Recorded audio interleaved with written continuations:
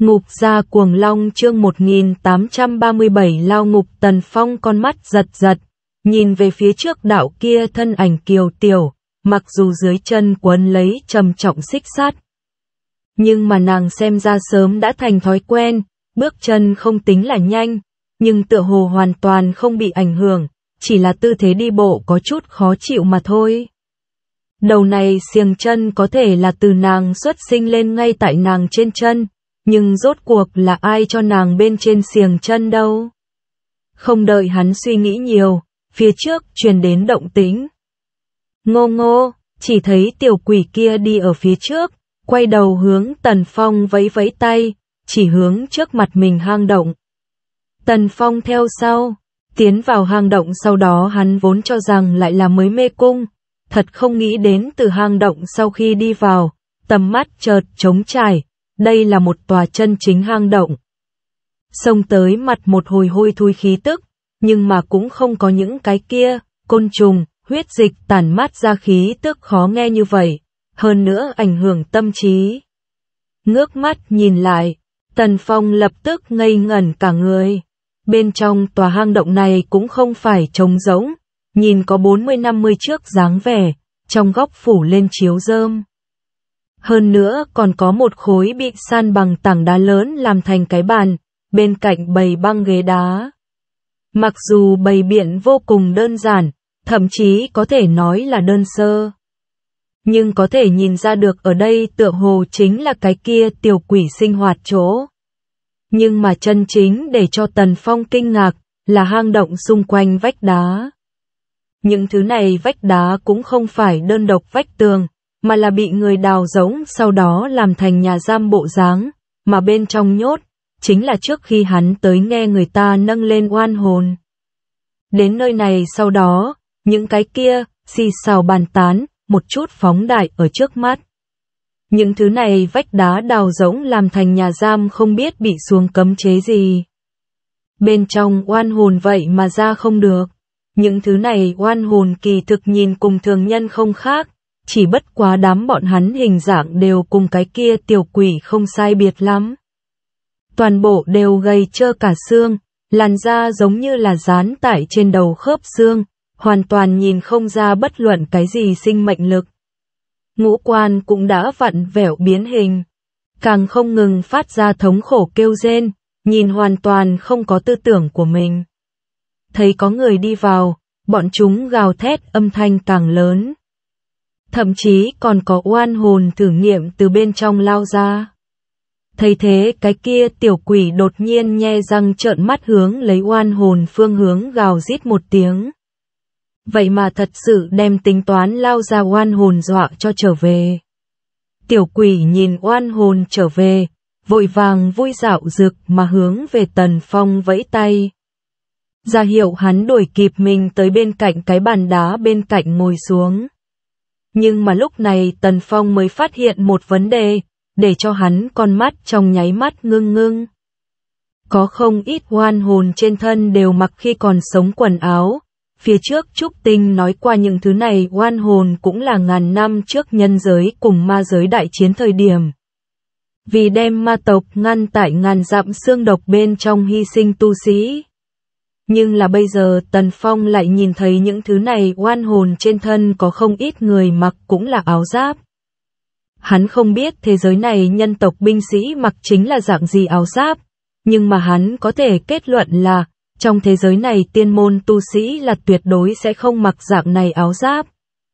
Đây là có chuyện gì, không phải nói ở đây hy sinh cũng là tu sĩ sao? Tần Phong hướng về nhà giam bên kia nhiều đi vài bước, muốn nhìn rõ những thứ này oan hồn bộ dáng. Ngô ngô, kèm theo đinh đinh đương đương tiếng xích sắt vang rồi, cái kia tiểu quỷ vội vội vàng vàng chạy tới tần phong trước mặt ngăn cản hắn, hơn nữa hướng về phía hắn phất phất tay.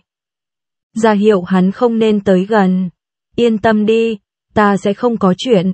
Tần phong vỗ vỗ đầu của nàng, vẫn là đi tới nhà giam trước mặt. Có mấy đạo hung ác oan hồn nhìn thấy Tần Phong tới. Đều vọt tới nhà giam bên cạnh, từ nhà tù trong khe hở đưa tay ra, muốn bắt được Tần Phong. Tần Phong liếc mắt nhìn tay của bọn hắn, nói là tay. Nhưng mà tiểu tụy giống là một loại nào đó loài chim móng vuốt. Hắn cùng bọn chúng giữ vững khoảng cách nhất định, nhưng mà lúc này cũng triệt để thấy rõ trên người của bọn nó quần áo bộ dáng. Tất cả oan hồn quần áo trên người đều là giống nhau binh sĩ áo giáp.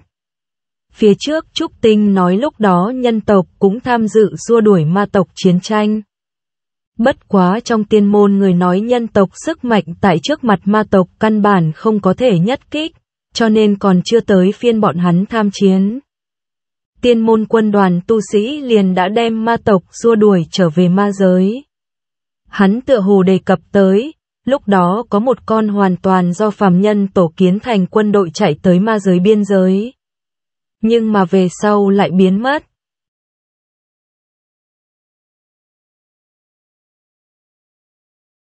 Tần Phong nhìn xem trước mặt những thứ này oan hồn, con mắt càng ngày càng lạnh, chẳng lẽ trước mắt những thứ này oan hồn, kỳ thực căn bản không phải tu sĩ gì tạo thành quân đoàn, mà là cái kia người đếm qua vạn phàm nhân quân đoàn sao? Bọn hắn rõ ràng tham chiến, lại bị xóa đi tính danh, tiếp đó tại giai đoạn sau cùng bị bỏ xuống. Bọn hắn là phàm thai nhục thể, căn bản là không có cách xuyên qua ngàn dặm xương độc, bị dừng lại tại ma giới sau đó hoặc là hạ tràng có thể tưởng tượng được. Lúc đó ma tộc vừa mới chiến bài, chính là cần phát tiết lửa giận thời điểm, những này nhân tộc binh sĩ, cứ như vậy trở thành vật hy sinh. Thế nhưng là tòa này vạn hồn quật lại là chuyện gì xảy ra?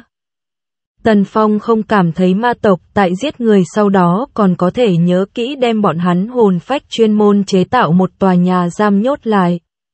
Hắn trong đầu hồi tưởng lại con đường đi tới này con đường. Mặc dù là cong cong gấy gấy mê cung, nhưng mà hắn đem tới thời điểm đi qua con đường toàn bộ đều ghi tạc trong đầu. Tiêu hạ, Tần Phong kêu một tiếng tiểu thần nữ, hỏi, ngươi có hay không cảm thấy chúng ta cùng nhau đi tới tòa này mê cung, giống như là bị người có thể tu kiến thành như vậy? Giống như là, một tòa trận pháp, Tần Phong đối với trận pháp các loại đồ vật cũng không hiểu rõ nhưng mà hắn luôn cảm thấy tô kiến tòa này vạn hồn quật người sẽ không nhàn rỗi không chuyện gì vẽ vời thêm chuyện. Quả thực là muốn đem thông hướng dưới mặt đất nhà giam lộ tu kiến đến khúc chiết như thế. Chẳng lẽ sợ bị người cướp ngục? Tiêu hạ nghe được hắn lời nói nguẹo đầu nghĩ nghĩ, trận pháp. Loại vật này là nhân loại các ngươi nghiên cứu ra được, ta là thần tộc, không cần dùng đến vật này, ta cũng không hiểu gặp nàng cũng không rõ ràng trận pháp các loại đồ vật. Tần Phong cũng chỉ có thể tạm thời từ bỏ. Hắn đi theo một mặt mê muội tiểu quỷ về tới trước bàn đá, đem nguyên một chuỗi đường hồ lô đưa cho nàng sau đó hỏi. Người bình thường ngay ở chỗ này sinh hoạt, không có đi địa phương khác sao? Tỷ như nói, ngươi có hay không đi qua phía trên? Ngô ngô ngô, cái kia tiểu quỷ một bên gặm mứt quả, một bên từ trong miệng phát ra ngô ngô âm thanh, dường như đang trả lời Tần Phong, thế nhưng là Tần Phong một chữ đều nghe không hiểu. Tiêu hạ cái này cuối cùng ngồi không yên, cắn răng. Đều ăn hai ta chuối đường hồ lô, liền một câu nói đều hỏi không rõ. Để cho ta tới, nói xong tiêu hạ trong tay kết ấn, sau đó một cái tát đập vào tiểu quỷ trên chán. Tiểu quỷ bị động tác của nàng sợ hết hồn, chưa kịp phản ứng, nàng mất quả liền rơi xuống đất, sau đó liền nghe nàng hô lớn một tiếng, ta ăn ngon. Tần Phong ngẩn người, chính nàng cũng ngây ngẩn cả người, quay đầu ngơ ngác nhìn Tần Phong, ta biết nói chuyện.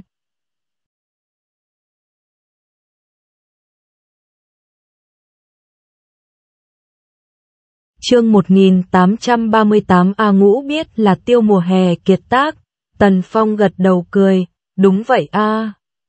Bây giờ hai chúng ta cũng có thể bình thường trao đổi. Tiểu quỷ kia trong lúc nhất thời biểu lộ vô cùng phức tạp, không biết là cao hứng hay là kinh ngạc. Lúc này Tần Phong nhắc nhở nàng một câu, người mất quả còn tại trên mặt đất, tiểu quỷ phản ứng lại, cũng không đoái hoài tới chính mình biết nói chuyện là tốt hay xấu, vội vàng đem chính mình mứt quả nhặt lên. Căn bản không để ý tới phía trên lây dính cho bụi, trực tiếp liền dồn vào trong miệng. Tiêu hạ thấy thế vội vàng kéo lại nàng, ngươi tiểu hài này chuyện gì xảy ra? Đều bẩn như vậy còn ăn. Tại tiểu quỷ một đôi mắt to vô tội chăm chú, nàng cắn răng, giống như là đã quyết định một loại quyết tâm nào đó, được rồi được rồi, trong tay ngươi cũng đừng ăn.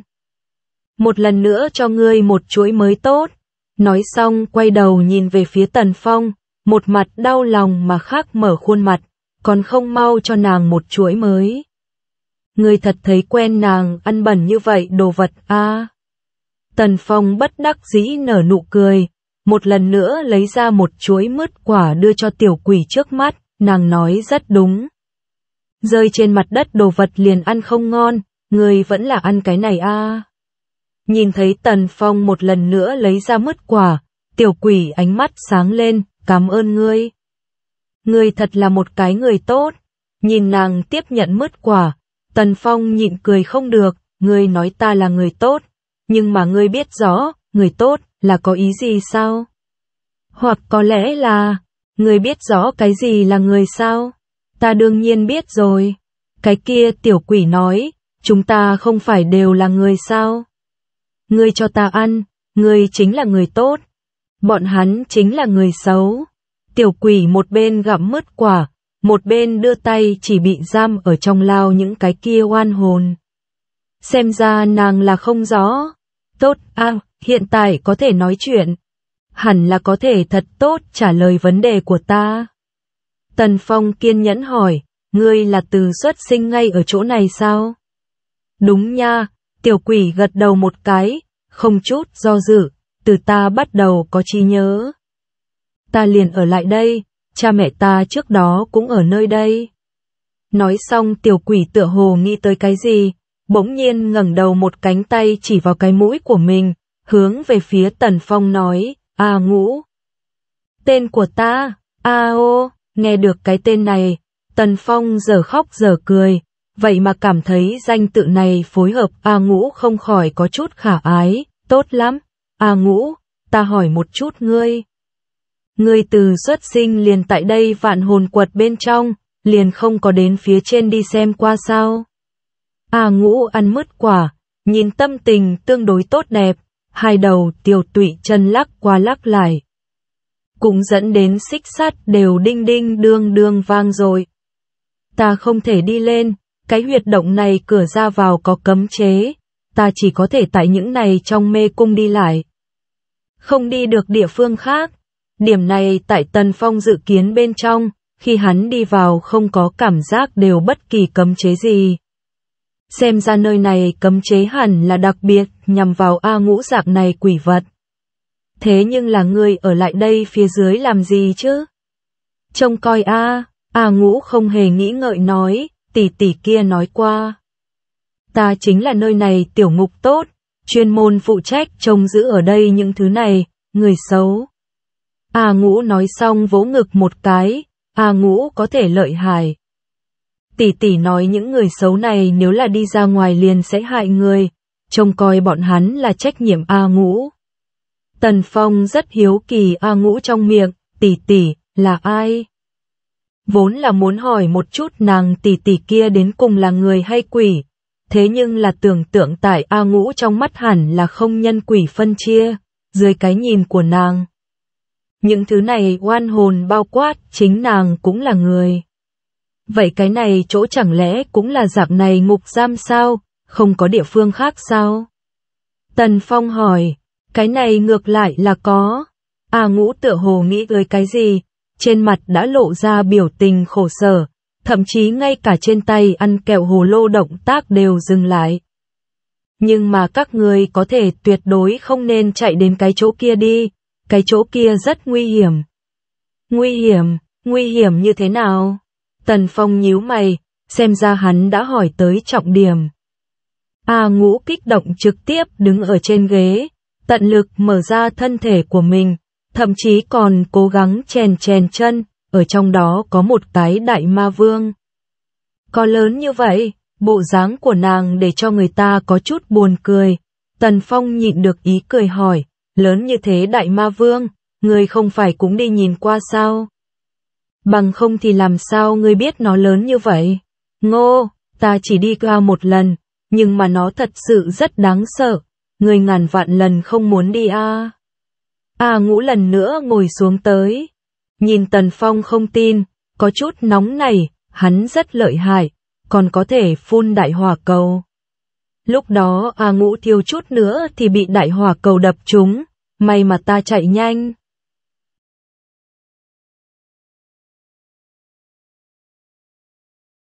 Nhìn nàng một mặt may mắn bộ dáng, Tần Phong xác nhận nàng không có nói sai. Biết phun lửa cầu đại ma vương. Vậy cái này đại ma vương lớn bao nhiêu, hình dạng thế nào? Cái này, A ngũ không biết, A ngũ rũ đầu xuống, giống như là cái hài tử làm sai chuyện. Tần Phong nhíu mày, không biết. A ngũ không nhìn thấy hắn hình dạng thế nào, chỉ có thấy được cái bóng của hắn. Vô cùng vô cùng lớn. Không đợi A ngũ tới gần, đại ma vương liền hướng A ngũ phun tới một cái đại hỏa cầu, thiếu chút nữa thì đem A ngũ thiêu chết. Tần Phong tạm thời không nói gì, rơi vào trầm tư. Nếu như A ngũ nói là sự thật, lời thuyết minh cái này vạn hồn quật phía dưới còn nuông chiều một đầu ma vật, hơn nữa tu vi cũng không thấp. Không biết đầu kia ma vật cùng ma anh có quan hệ hay không? Nếu là tìm được nó, có lẽ có thể được đến mấy phần ma anh manh mối. Dù sao hiện tại xem ra, tại vạn hồn quật bên trong có thể đản sinh ra một cái để cho vạn quỷ kêu rên ma anh. Cũng chỉ có A ngũ trong miệng đại ma vương. Cái khác quan hồn cho dù còn dư quỷ anh, cũng chỉ là nghĩ A ngũ phổ thông như vậy quỷ vật mà thôi. Bởi vì bị nhốt ở chỗ này những cái kia oan hồn đều không phải là tu sĩ gì, bọn chúng khi còn sống cũng là không có chút nào linh lực người bình thường. Sau khi chết oan hồn cũng sẽ không quá cường đại, sinh hạ quỷ anh thì càng sẽ không khiến cho bao lớn dung chuyển. trầm tư một lát sau, Tần Phong nhìn về phía A Ngũ, A Ngũ. Ngươi có thể mang ta tìm cái kia đại ma vương sao? A Ngũ nghe vậy lại không hề nghĩ ngợi liền lắc đầu, không nên không nên, ta không thể dẫn ngươi đi. Cái kia đại ma vương có thể hung có thể hung rồi. Hơn nữa, lần trước A Ngũ vụng trộm chạy tới nơi đó, bị tỷ tỷ kia phát hiện, tỷ tỷ lập tức trở nên rất đáng sợ. A Ngũ mở to oai mắt, tựa hồ hồi tưởng lại cái gì đáng sợ hồi ức, lúc đó tỷ tỷ cứ như vậy bóp lấy A Ngũ cổ, đem A Ngũ ném tới trên vách tường, A Ngũ đâm đến đau quá đau quá. Cho nên A Ngũ không thể mang các ngươi đi. Nếu như bị tỷ tỷ phát hiện, tỷ tỷ cũng sẽ đối với các ngươi như vậy. Nghe xong A Ngũ tự thuật, Tần Phong mày nhíu lại phải sâu hơn. Xem ra cái này vạn hồn quật không chỉ có không phải nơi vô chủ. Hơn nữa còn một mực có người ở trông giữ. Phía trước, A Ngũ nói qua cái kia, tỷ tỷ, cùng tiêu hạ một dạng, đây có phải hay không là lời thuyết minh? Đối phương thật là cá nhân.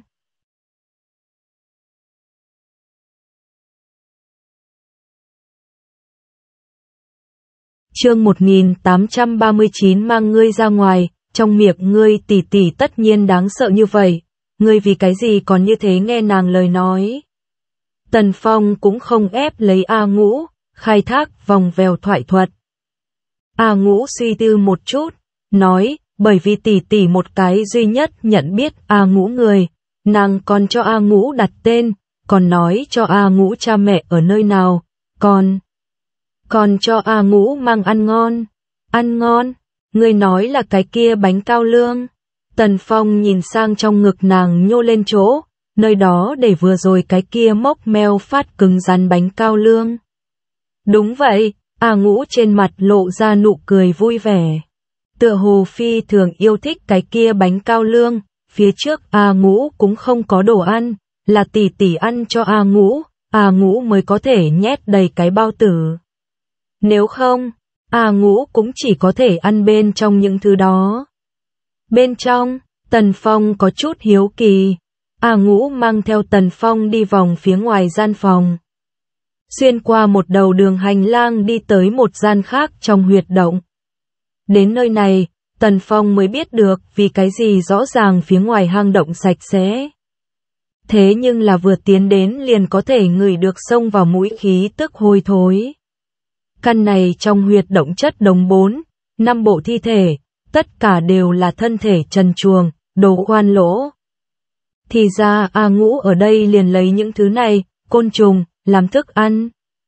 Tần Phong nhịn xuống khó chịu, cùng A ngũ cùng một chỗ về tới trước đây hang động, hắn hướng về phía A ngũ hỏi.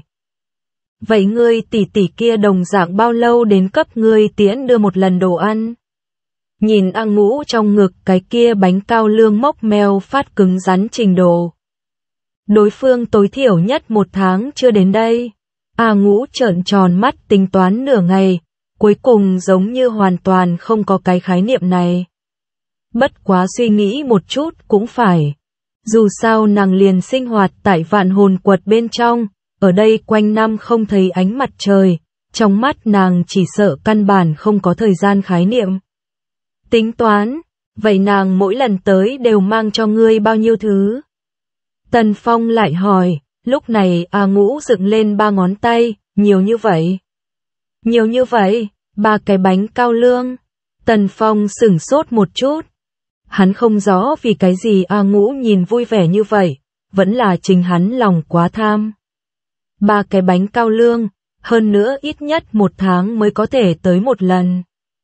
Đối phương biết A Ngũ ăn cái gì cũng không đáng kể, nhưng mà mỗi lần tới cũng chỉ có ba cái bánh cao lương, đến cùng là giật gấu vá vai hay là cố ý.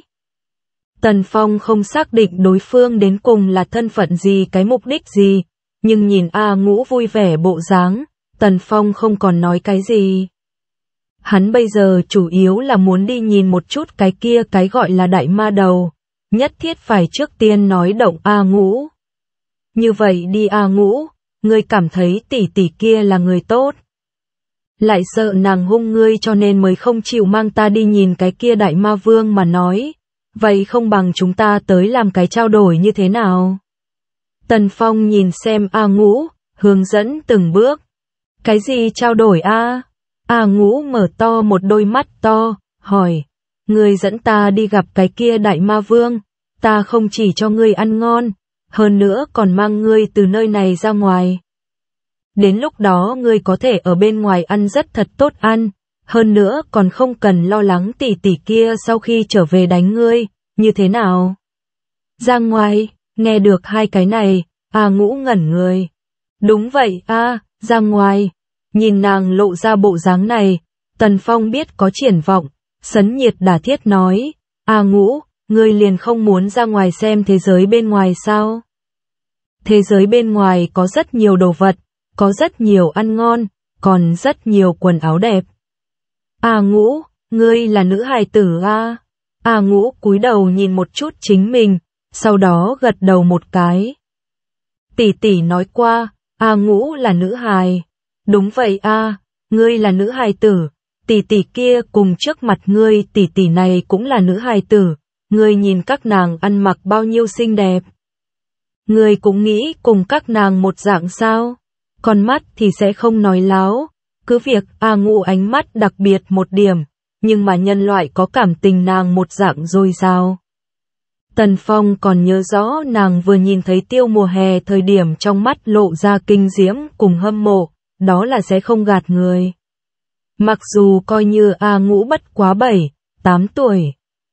Nhưng mà nàng là một cái nữ hài tử, vô luận là quỷ vật vẫn là người, nàng cũng là nữ hài tử. Chỉ cần là nữ hài tử, lúc nào cũng thích trưng diện. Ngươi mang ca ca đi xem một chút cái kia đại ma vương, ca ca mang ngươi từ nơi này ra ngoài, không chỉ có cho ngươi ăn ngon, còn đem ngươi ăn mặc thật xinh đẹp, như thế nào?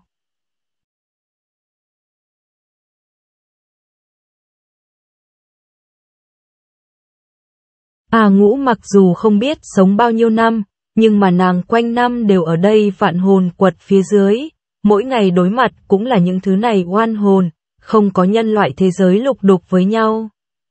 Tâm tính của nàng cũng phá lệ đơn thuần, cho nên nàng căn bản không phân rõ Tần Phong hiện tại lời nói thật sự vẫn là hoang ngôn, cũng không có nửa điểm hoài nghi. Chỉ là đang suy nghĩ có muốn nghe hay không Tần Phong lời nói mà thôi. Trầm tư hồi lâu sau, A Ngũ bỗng nhiên mở miệng hỏi, ca ca. Thế giới bên ngoài có phải hay không có hải A? Tần Phong nghe vậy ngẩn người, không nghĩ tới A Ngũ hỏi lại là cái này, đương nhiên. Hắn lại hỏi, bất quá. Người từ chỗ nào biết đến, hải, vật này, theo lý thuyết A Ngũ chắc chắn là chưa thấy qua hải. Nhìn nàng duy nhất tin tức nơi phát ra chính là cái kia trong miệng nàng, tỷ tỷ. Tỷ tỷ kia sẽ nói cho nàng hải loại vật này sao? Lấy trước kia nhóm người xấu bên trong có một cái lão gia gia, A Ngũ đưa tay, chỉ hướng tòa kia lao ngục, lão gia gia kia tựa như là người điên. Hắn mỗi ngày đều ngồi ở bên trong niệm một chút, A Ngũ nghe không hiểu đồ vật, A Ngũ không chuyện làm thời điểm liền sẽ nghe một chút. Ta liền nhớ kỹ lão gia gia kia nói, hắn muốn về nhà. Trở lại một cái có hải chỗ. A Ngũ hỏi qua hắn hải là cái gì, hắn nói cho A Ngũ, đó là bao la nhất tự do nhất tồn tại, chỉ cần thấy được biển cả liền sẽ phát hiện thế giới này là rộng như vậy mẫu.